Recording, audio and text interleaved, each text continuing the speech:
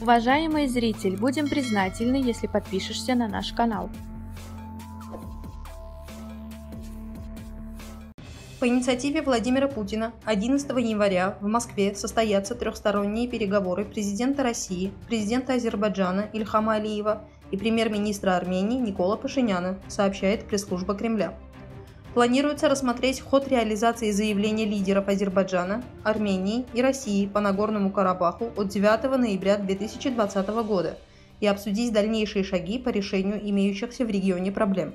Особое внимание будет уделено вопросам оказания помощи жителям районов, пострадавших в результате военных действий, а также разблокированию и развитию торгово-экономических и транспортных связей, отметили в администрации главы российского государства.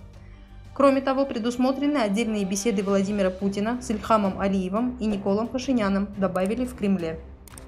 Вопросы, связанные с карабахским урегулированием, обсуждались в ходе совещания, которое ранее, в воскресенье, провел президент России. В преддверии встречи с президентом Азербайджана Ильхамом Алиевым и премьер-министром Армении Николом Пашиняном Владимир Путин провел совещание, на котором обсуждались вопросы Нагорно-Карабахского урегулирования и ситуации на Южном Кавказе, говорится в сообщении пресс-службы Кремля. В совещании участвовали секретарь Совета Безопасности Николай Патрушев, министр иностранных дел Сергей Лавров, министр обороны Сергей Шойгу, директор Федеральной службы безопасности Александр Бортников, директор службы внешней разведки Сергей Нарышкин.